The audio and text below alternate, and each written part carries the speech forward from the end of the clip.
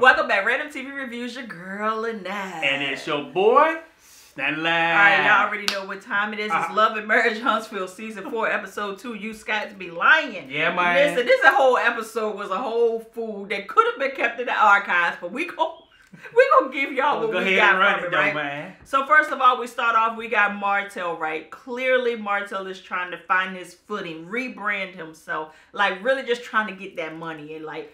Cause the builder's license is kind of like been an afterthought. If you, yeah, if we, you we ain't me. even we, pursue, we ain't even pursuing that no more. We getting the bathtub with roses now, man. We ain't even with, doing that no more. With no water, no water.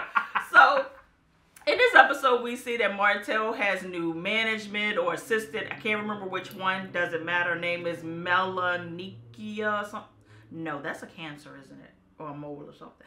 Mel. Yeah. so in this episode, we also see that he invited Destiny to come over to bring him some baby oil because you got um Neville and the assistant manager slash manager was like, listen, you we trying to do this photo shoot with that, but we need you. we need you all now. Oh, yeah. like uh, what he say on um the movie? It was in Baby Chickens. It was oh. all on up. Oh, uh, uh, Jamie Foxx. yeah. So we need to get him all on up. So play that game. So he said Destiny lives close enough by. She can go ahead and bring me some of that Madani over here. I was like, okay, way to plug your friend's business yes, into indeed, this episode. Man.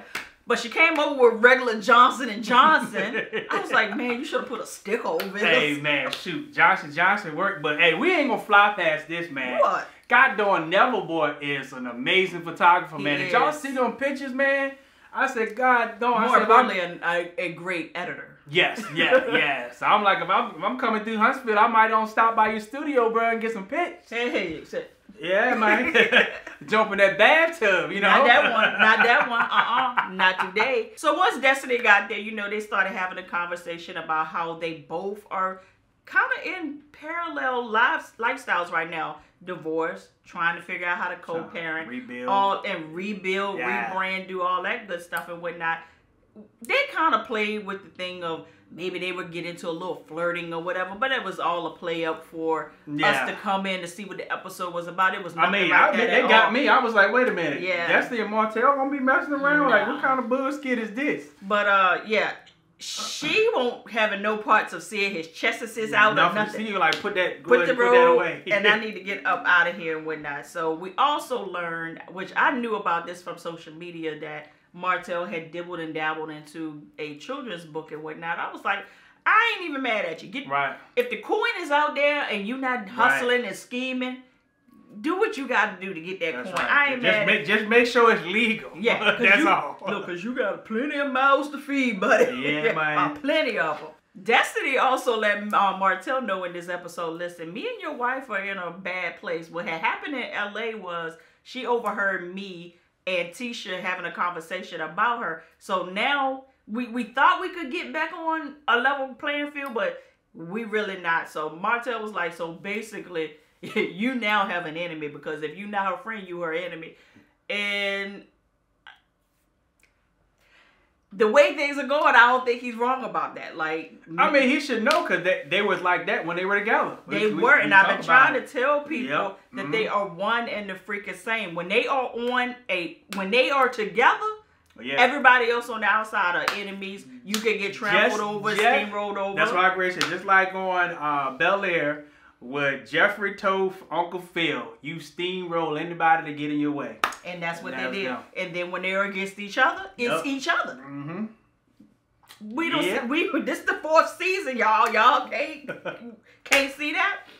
So speaking of Mel, we see that Mel goes and pays Stormy a visit. So I'm figuring at this point, Stormy is going to be the new like friend of the show to Mel. Like what mm. Destiny came in as, I they're think gonna they're okay. gonna switch it and bring Stormy in because we're starting to see her more and more and she was really integrated into this episode. Yeah, she was so, was.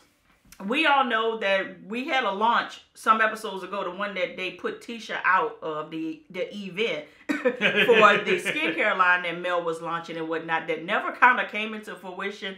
I didn't understand it. Y'all couldn't make me understand. I was like, so you have a launch, kind of like the Kenya Moore thing. You have a launch for a product that's not ready yet. Yeah. Well, evidently we're we're back there. So she decided to go and have um, pretty much like an impromptu consultation, um, a meeting of the minds with Stormy about, you know, what should I do? How should I handle inventory? And Stormy was like, if you don't get nothing else straight, you need a great inventory manager. You Right. don't want too much, and then you don't sell it, and your stuff goes stale, and you don't want to have not enough, Right. and you sell out, and people, the demand is there, but you can't fulfill. But in the era where we are now, ain't nobody really getting nothing. Yeah. like you don't know when nothing's gonna come in. Like when the pandemic first hit, you couldn't get lumber. You could, and even now, I went to the dentist last week, and they were like, "We can't even mm. get floss." yeah. Which is I was crazy. like, "What?" They was like, Yeah, "We crazy. the all the floss that we can use now is the floss that nobody likes. Like the mm. floss is at the Yeah. bottom Yeah. of the bin that nobody likes, and we just have to make it work." And I said, "That makes sense because I like this Oral B Yep. floss in the blue box, and I can't find it nowhere." And they say, "Yeah, it's like in the middle of the ocean on freight somewhere on a freight." Like I'm But- like, "Wow." But like we said this season, that when they throw out these nuggets out here for us to help us in our life, and Stormy threw a nugget out there, and I don't know if y'all caught it. What's that? She told Mel that when I started this business, I didn't have a clue Mm-mm. of what I was doing. I didn't know nothing about inventory. I didn't know nothing about getting no warehouses. None of that stuff. I just knew I wanted to do it, and she did it. and that's the secret. So if you got a business you want to start, you ain't got to know everything right now. Just start pursuing it, and everything will will unfold for you. We maybe one day we may have to tell you our story because that's us too. Yeah. Every, all our ventures always start real small, and then we don't know what we doing, And and, then then, it's it like, just then it just open up for you, man. Then you got Walmart trying to sue you. But anyway, Yeah. that's a real story. Yeah. Um, now I don't know a lot about Stormy in real life. Like when I say I invest zero bucks in these people's real lives, I don't know. So I don't really even know like what's her brand. Is she a, to be trusted? Because sometimes you can speak highly of people and they be like, "Uh, uh she a scammer." I, I don't know. I don't. I don't invest that kind of time. I look at the show. I review what I just watched. Yep. Nothing more, nothing freaking less. I've had it. I've had it kind of time. I really don't. Also in this scene right here, Mel invited Stormy over to her pajama party. So this is what we learned that Stormy also ain't feeling Tiffany. Yeah. She was like, the girl is a little weird. like she even jumped into and on the sidebar was like, basically trying to introduce herself and trying to make nice or whatever. Stormy was like, the girl weird. the girl weird. She said, "My decimate lets me know I can't rock with people What- like her that." what now? Her decimate. it ain't discernment no more. It's decimate. Yeah, Stormy was like, I, I, I, I cannot. So over there, we see Tisha and Marsau, and Wanda comes in, yo. First of all, we, we talked about Scott Manor for a good little five minutes. Golly. Scott Manor is going through it. It doesn't seem like it's going to be up Right. and, and ready to be moved in anytime soon, according to what they're saying. I don't know. But Wanda comes in, yo. And just like black folks, and she was like, So y'all gonna invest in my food truck or what?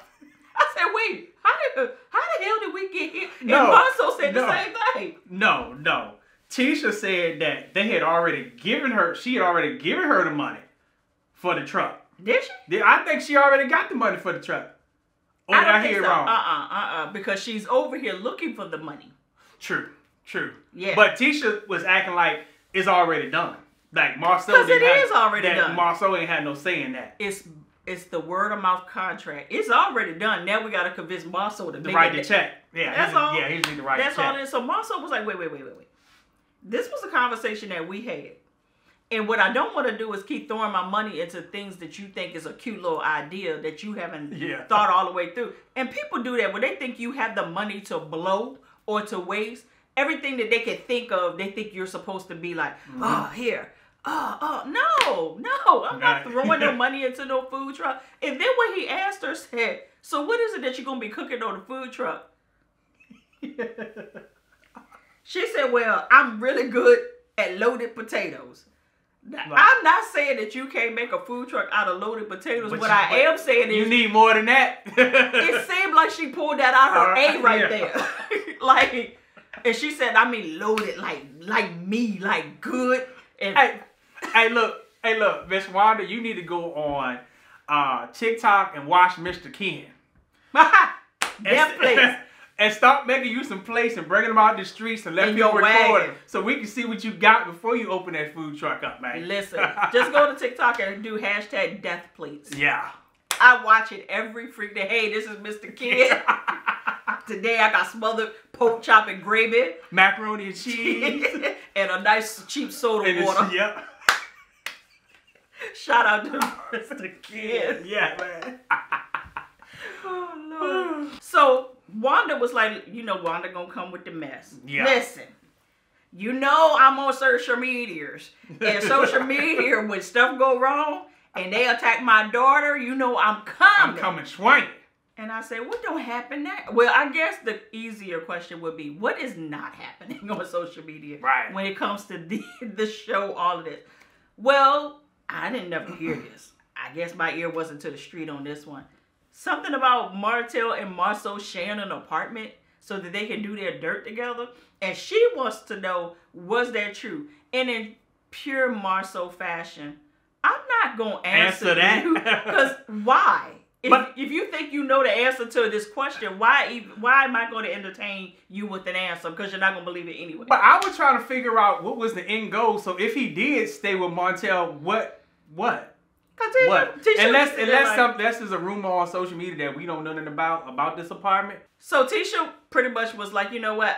Squash what you heard. I don't believe it. And I said, so you let this conversation go on for Let this interrogation go on for like thirty minutes. just for you to be like, mom, I, yeah, I don't believe any of it. nah.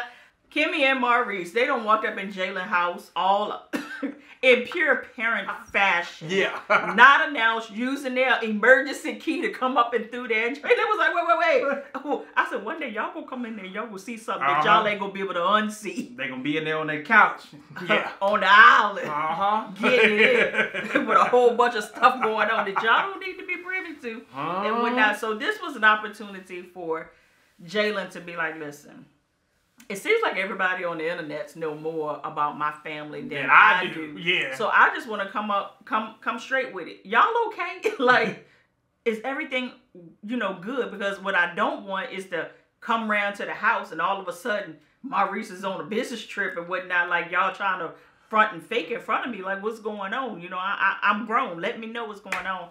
And Kimmi let him know that no, you know, we're in a Yeah. good place. There was questions to be asked. I still have questions because I'm still sitting here like in my own mind. I'm like, I don't believe Maurice did anything, but at the same time, why you lie? Yeah. Why'd you point blank lie and say that no? Like, what was that all about? But at the same time, I'm like, I, I, Yeah, because y'all, you know, just on the boys trip, you know. yeah. Yeah. Was it a way to protect the fact that y'all have bro code and you don't speak of what you've been, you know, a witness to? I don't know. I like I try to think of it all kinds of ways, but to to blankly lie just makes it makes everything, everything look- sus- yeah. suspect at this point. yeah, it makes the whole story fall apart. It does. So I, I, I, I don't know. do. I don't know. But I was laughing at Jalen because Jalen was like, listen, you know, it's hard out here for a pimp. Gas don't went up. you want me to babysit your dog over at your house? I'd rather bring babysit the dog over over here. here. You know, we need to stock this liquor cabinet up. Oh, I kind of started doing that with the liquor y'all At- don't at your drink. house. Yeah.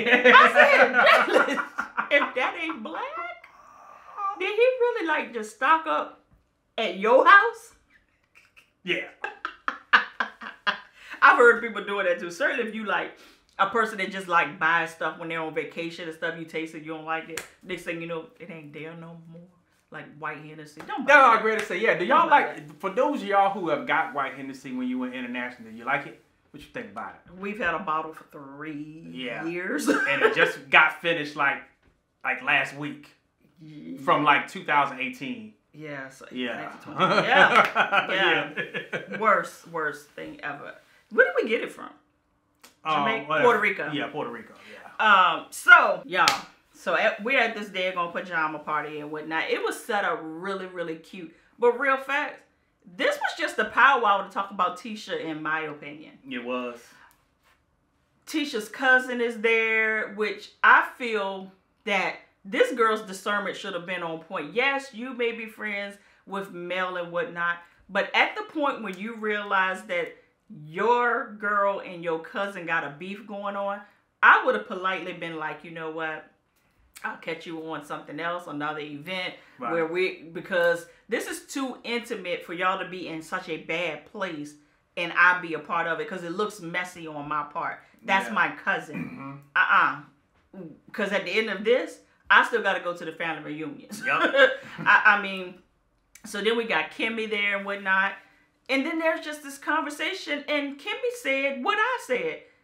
If you didn't want to invite Tisha, why, why are we we talking about, her? Tisha? Yeah. you didn't want to hear, but we're having a whole conversation about it. Mhm. Then Kiki is being loose at the lips, giving up some intel that she shouldn't be bringing up because Mel is on this whole thing with, in my opinion. My man cheated. If he's capable of cheating, and Y'all y'all, man y'all, men's probably cheated too. Yep. I'm not mad at that, but at the same time, just because yours did, you can't put it on everybody else's. If you have proof of that, bring it. Bring it out. Yeah. Bring it because you speak so confidently of it. Bring it out Right. because at this point, you got people's mm-hmm. lives in the balance. Like, and at real facts, there is nothing like looking like a fool and looking like a fool on national TV.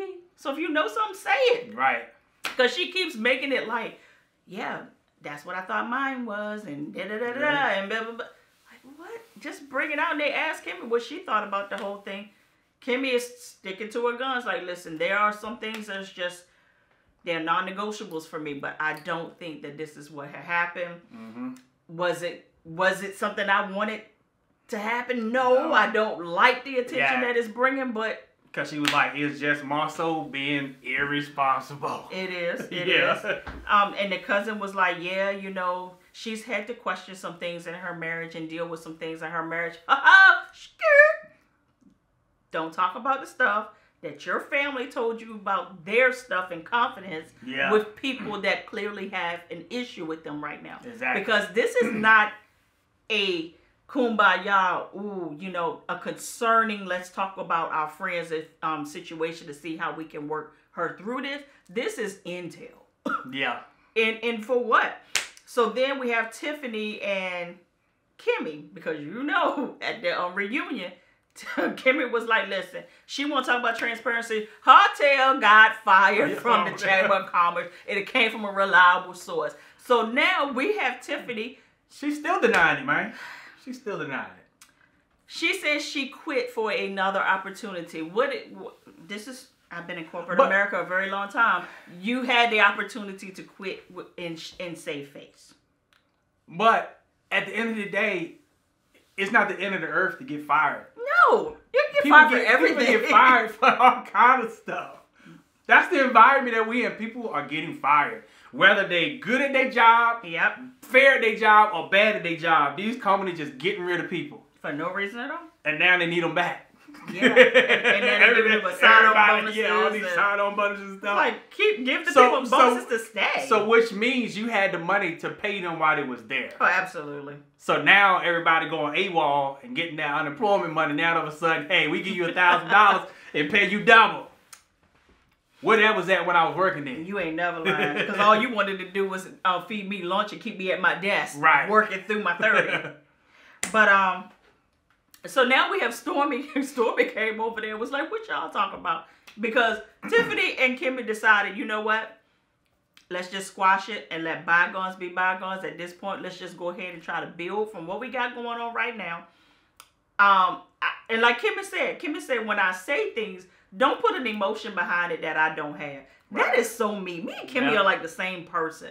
Like I say what I gotta say, but at the end of the day, I said it and I ain't thinking no more about it. But you don't attach an emotion to it Yeah. that I'm mad about something. I'm like, I'm not mad about it. I said what I said, and either we're gonna move on from it or we're not. Right. So, and and Tiffany was like, you know what? Kimmi has always been straightforward, a woman of her word. So if she said we don't have no problem, We don't have no problem. And then Stormy came over, was like, well, what y'all talking about? I said, Lord, here comes Stormy staring the pot.